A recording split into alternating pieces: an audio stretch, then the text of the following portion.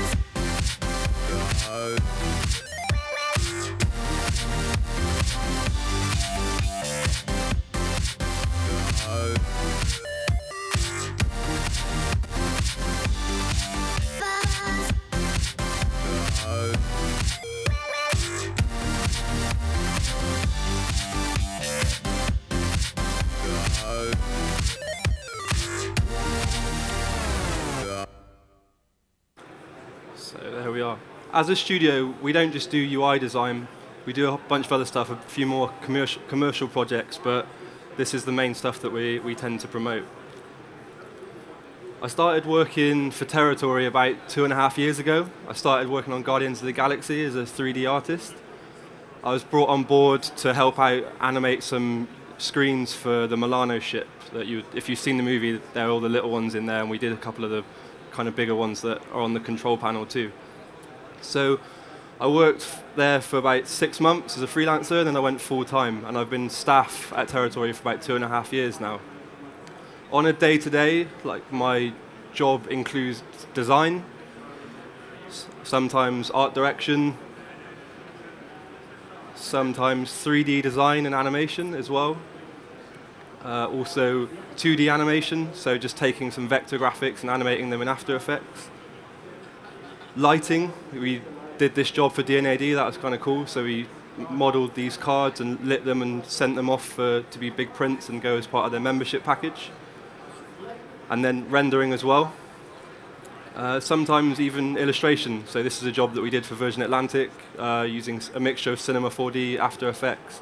So no matter what we do, these are generally the toolkits that we're using. After Effects, Cinema 4D, Photoshop, and Illustrator.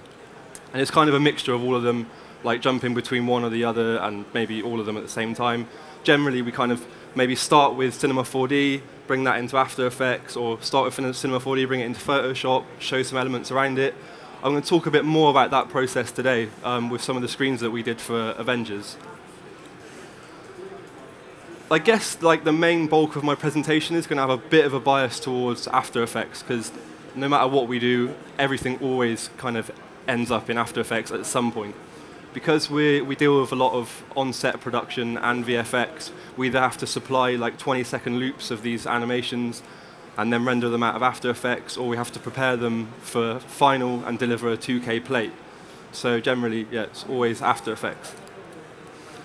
I had a tutor at university that said After Effects is like Photoshop on acid. Uh, his is Adrian Beasley. Shout out to Adrian. He's got many quotes, and uh, he taught me some good things. Uh, yeah, he's a good guy. So yeah, the main kind of bulk of this presentation is going to be sort of breaking down the process of designing and animating UI graphics for film. I'm slightly kind of going to miss out the kind of concept bit because I want to focus on just like the production element, you know, using these tools to make these graphics. So I'd like to talk to you about some of the work we did for Avengers, Age of Ultron. I'm going to deconstruct some Photoshop files, some Illustrator files, After Effects files, and then show you our reel. And do a similar thing with Agent 47. So I picked these two projects, A, because I like them, but B, because so we did screens for Agent, uh, Agent 47 were for post-production. They were part of the storyline. We had to work with the editor. We, did, we delivered shots literally like four weeks before this film went into the cinema. So we were, we were right there with the edit, edit team. Whereas with Avengers, we worked with the art department, so we were delivering shots maybe a year before it went into the cinemas because they were shooting it in camera. So there's kind of two different workflows, and there's some other little bits. But I think to start with, I broke down this shot yesterday, but I'm going to do a, uh, a different one today because I kind of want to show after Effects, maybe in a different light. I'm basically going to take some 3D assets that I make in Cinema 4D and show you the kind of layering process I go through to generate something that kind of looks good and tells the right story. So first of all, I'm going to break down this shot here. So it's literally, it's 27 frames long, so it's not very long, but throughout the course of Agent 47, we delivered like hundreds of screens. Some were purely graphic, like 2K plates. This ended up being a 2K plate in the film. Some were like uh, screens that we had to give to an external vendor to them for them to composite into like iPads or mobile phones, and other ones where we had to do like kind of VFX treatments to communicate um, sort of premonitions that one of the agents was having. But I'll talk through this one because we use Cinema 4D to generate this kind of background asset of the maps, brought it into After Effects, used Illustrator to create this UI, and then rendered it again out of After Effects. So first of all, I will jump into Cinema 4D.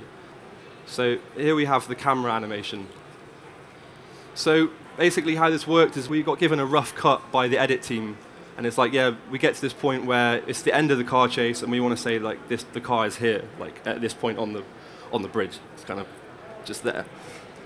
So we use this piece of software or a plugin called OSM Importer, where you can basically get GPS coordinates for anywhere, practically, that's you know within reason, and put that into the OSM importer, and it downloads the map coordinates and creates a spline that you can then extrude, basically. So it's a really quick way of creating these kind of really random building-like structures that you, you, know you'd have to spend a little bit of time kind of modeling them. They're, they're, the geometry is really basic, but it would take some time to kind of model that and give it that feel of randomness. So we do that, we extrude it out. It also brings in like rivers and maps and stuff. This was Salzburg. Um, I'm not sure if this if we actually use the exact point, but it was like a, definitely a good starting point to get real real life data. And so there's a couple of things you can do. So we generally render out sort of multiple versions of the same scene and then bring them together in After Effects, and I'm going to talk you through a little bit more of that. So one of the main things, obviously, is just we get a cel render, we turn on edges, and then render, see how long this takes. And instantly you've got something that looks you know, quite graphic. I mean, on its own, yeah, it's okay, but we're going to bring in some more layers and, and sort of build it up. Another pass that we use is just a points pass. Like, and you could you could kind of combine these two together using just an atom array, but we quite like having the control of like the level that we can bring through these dots and these lines.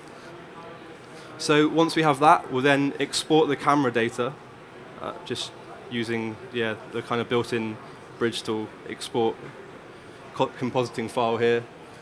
That gives you camera data and then anything with an external compositing tag on. And then you can bring it into After Effects. So here is are the 3D layers sort of after, yeah, after I kind of gave them a bit of love, as we say. And I'm going to talk you through just maybe a few of these layers. So here are the various render passes that we brought through. And I'm going to just turn them all off, and then turn them on to show you. So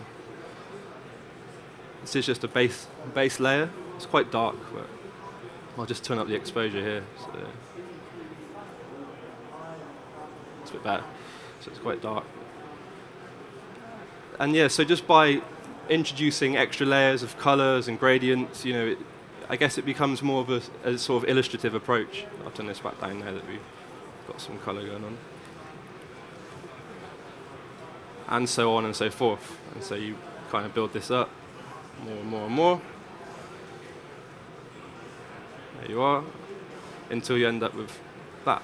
And so that's why we, we like to render out things in different layers, because you can kind of bring them in and, and add the color. So we added the red to the river and the, the road uh, independently of, of Cinema 4D. So we have, we have a bit of control. If the client comes back and says, like, change it, we can do it without re-rendering stuff. And then from there, we'll kind of take it up a layer and give it a little bit more love. Maybe like add some camera lens blurs. We start to overlay the UI. This is a relatively light scene. Like some of the scenes from Avengers would get a bit heavier, but it's kind of interesting. And so in here, we have the UI layer, and there's just some sort of, some basic animation going on, some just blinking. For the screens for VFX shots, they have to tell the story, so we don't kind of go all like crazy on the animation details.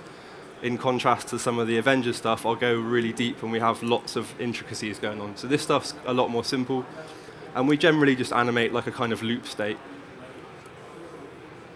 and then we bring it over. So here we should have a camera somewhere. Yep here, this camera has been brought in from Cinema 4D. So any 2D elements that you apply over the top of your 3D scene will be tracked in, and you know it feels more integrated. So as you kind of see, see here, like the vehicle A is is locked to the bridge and responsive to the camera, and equally the UI that you see for like you know a few frames on the outside is responding to the camera too. So it's, it's a simple thing, but it's, you know, we always kind of generally use that, that in our workflow, bringing in the camera, bringing in a null. Um, and then from there, we'll maybe add a final little grade to it. Just some kind of curves and stuff. I'm not sure if I did it on here. Yeah, just some curves and some noise, maybe sh sharpen it, all fairly simple stuff. And that's that. So I'm going to show you the reel uh, of the things that we did where has it gone? For Agent 47. So I showed this for the first time yesterday, so not many people have seen this before. So you're privileged. So, uh, sit back and enjoy, I guess.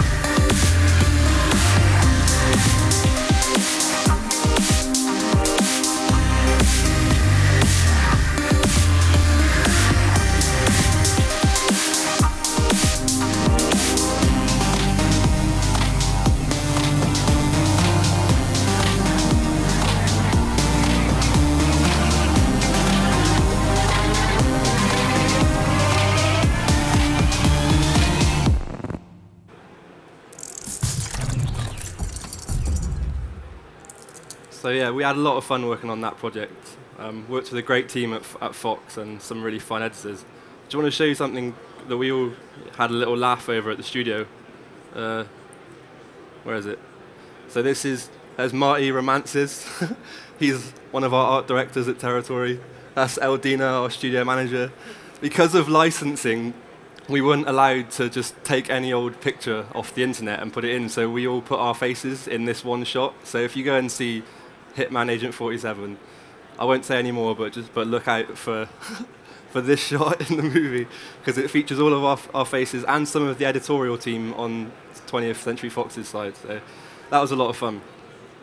Right, so now let's go. Let's yeah, let's jump into some Avengers stuff. I guess. Uh, yeah, you've probably been waiting for that. So I did. I broke down this screen yesterday, but I'm going to break down it again because I have three sets of scene files for it. I have the Illustrator, the Photoshop, and the After Effects file. And I'm basically going to go through the process of, you know, building up these layers to make this 3D asset, some of the Illustrator files for the UI, and then the kind of process that, you know, how we got to that point, how we get to this end bit. This is the final screen, how it ended up. I think they might have used an earlier version in the movie that was more flat and two-dimensional. We had to go through a process of designing this plant layer. This was for Dr. Banner, the Hulk. Um, and it was one of the glass panels that featured in the Avengers Tower. I don't know if any of you have seen the movie, but it's, yeah, it's, it's a great, it's definitely a good one, worth a watch. So we went through a whole process of designing this plant asset in 2D, first of all, because that's what the art department signed off on, and then we had to make it 3D.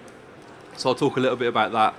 I'll go and show you like some of these elements that are like super tiny, but how we give a little love and craft to animating them. Right.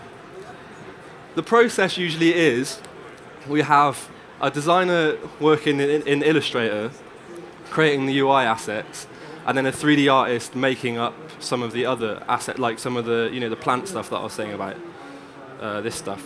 So we have someone designing this this content and someone designing all the other that are UI overlays, kind of happening simultaneously.